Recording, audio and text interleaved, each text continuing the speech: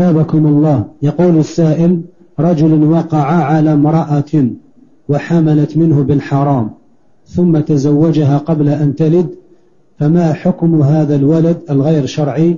هل يعتبر ابن زنا وهل يرث؟ هذا تراجع فيه المحكمة الشرعية. تراجع المحكمة الشرعية للنظر في هذه القضية.